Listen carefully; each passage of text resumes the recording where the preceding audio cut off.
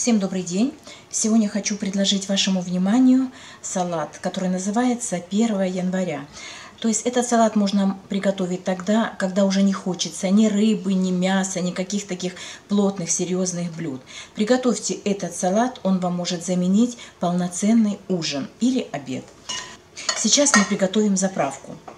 Так как у меня здесь много маринованных и соленых овощей, поэтому заправку я приготовлю без соли.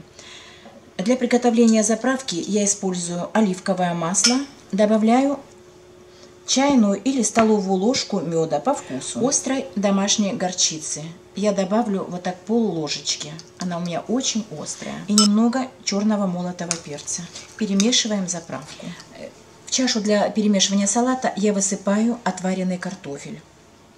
Как отварить картофель, я вам оставлю ссылку. Или приготовьте картофель так, как вы привыкли это делать. К картофелю добавляю квашеную капусту. Все ингредиенты в этот салат вы добавляете по своему вкусу. Чего-то больше, чего-то меньше. Добавляю маринованные огурцы. Можно использовать соленые. Добавляю грибы-шампиньоны. Они не очень крупные, я их разрезала пополам. Можно даже оставить грибы в этот салат целыми, если они не очень крупные.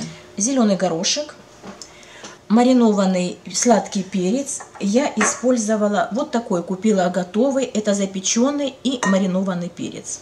Добавляю его немного. Лук-шалот, можно использовать обычный лук, или лук-шалот, или красный лук. Сельдерей, один черенок с листьями, свежий укроп.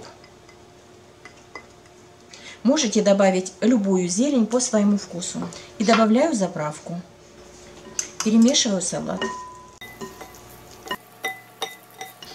Сейчас обязательно попробуйте салат на соль, так как я соль не добавляла. Здесь присутствует много соленых и маринованных овощей. Поэтому, если требуется соль, сейчас на этом этапе добавьте соли. Салат готов. Можете его подавать к столу и наслаждаться. Без ничего, без мяса, без рыбы, так как вы хотите. Просто один салат. Я с вами прощаюсь. Всего доброго. Если вам рецепт понравился, ставьте лайк, делитесь со своими друзьями.